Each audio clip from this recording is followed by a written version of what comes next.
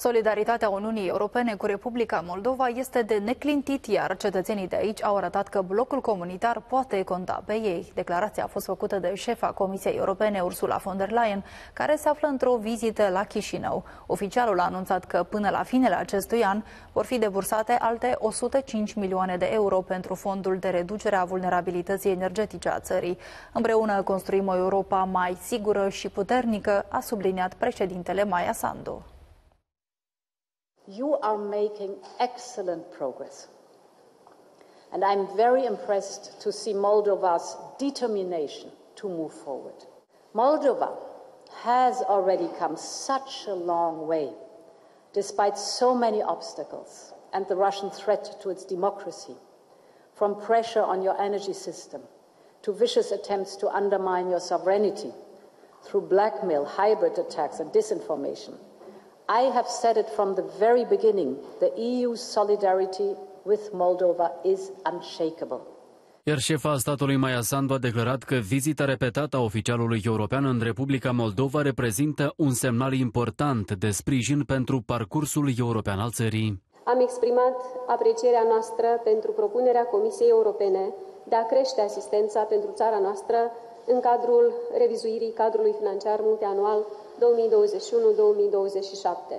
De asemenea, apreciem pachetul de sprijin oferit de Comisia Europeană pentru a atenua impactul negativ pe care îl resimțim din cauza agresiunii ruse împotriva Ucrainei.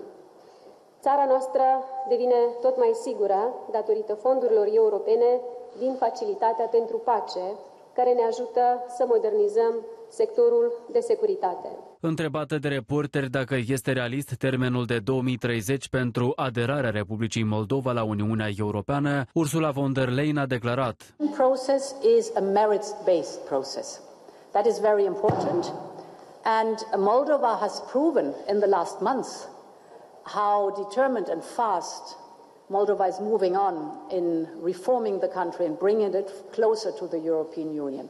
There is no such thing like a fixed date, but it's a merits based process, so those who really work hard can join earlier. Șefa statului Maia Sandu a menționat că autoritățile de la Chișinău știu care sunt domeniile în care trebuie să depună eforturi mai mari. Noi suntem angajați în acest proces, în pofida impedimentelor pe care le întâlnim și în pofida rezistenței pe care o vedem în fiecare zi din partea unor uh, oameni prost intenționați din sistem, uh, noi continuăm să lucrăm. În aprilie curent, Parlamentul European a cerut ca negocierile de aderare a Republicii Moldova la blocul comunitar să înceapă până la finele acestui an. Asta dacă autoritățile vor îndeplini cele nouă condiționalități identificate de Comisia Europeană pentru deschiderea negocierilor.